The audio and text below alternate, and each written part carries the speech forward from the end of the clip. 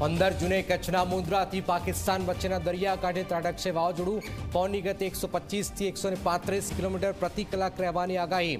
કચ્છ, દ્વારકા અને જામનગરમાં ભારેથી અતિ ભારે વરસાદ.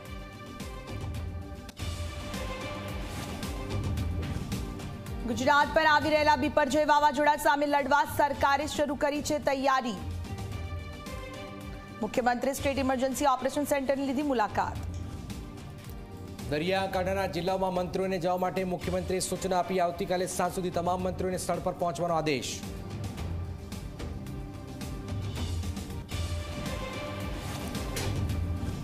વલસાડના તિથલ પોરબંદર સોમનાથ અને સુવાલીના દરિયામાં જોવા મળ્યો કરંટ. વરસાદ સાથે પવન ફૂંકાવાની થઈ શરૂઆત દરિયાકાંઠાના જિલ્લાઓમાં એનડીઆરએફની ટીમોને કરાઈ સ્ટેન્ડ બાય